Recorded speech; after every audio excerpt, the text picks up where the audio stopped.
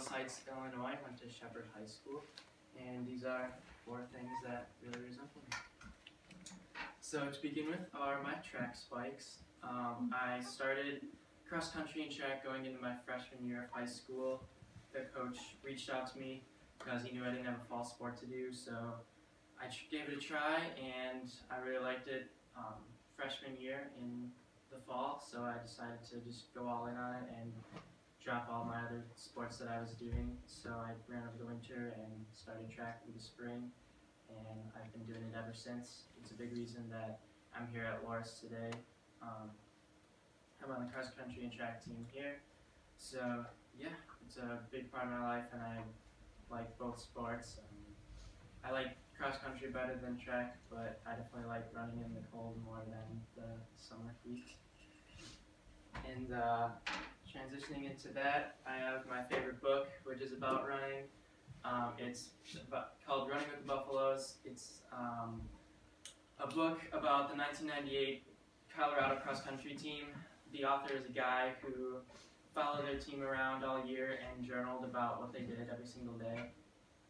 Um, I just think it's pretty cool because there's a lot of different things to relate um, my life in it, and even our coach here, Coach Bob Schultz, um, reads this to us sometimes, and there's important parts that he connects this book to our season, and uh, some of the stuff they do in here we do in real life and practice as well, so that's pretty cool.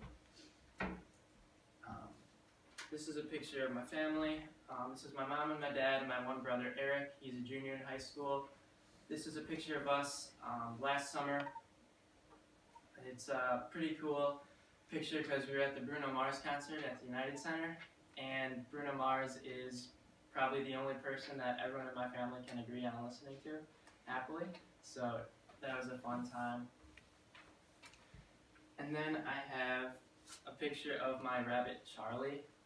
So Charlie, um, I unique story about how I found him. He, I found him on the highway, basically.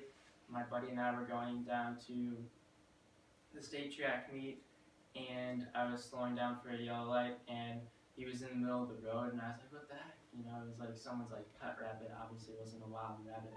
So we got out of the car in the middle of the road and chased him into a parking lot, and then we chased him around the parking lot for a very long time, and then finally got him into a box, got ran into Jewel, got some lettuce and water for him, and then we were still going to the track meet, so we had to somehow like take him into the track meet. So uh, we had a big box, and then we put our backpacks over it and pretended like we just had a big box of food for our lunch and stuff. So we took him up into the bleachers and he hung out with us all day. And then, uh, yeah, we took him back home and I still have him to this day. He runs around my living room and stuff sometimes. So he's pretty cool.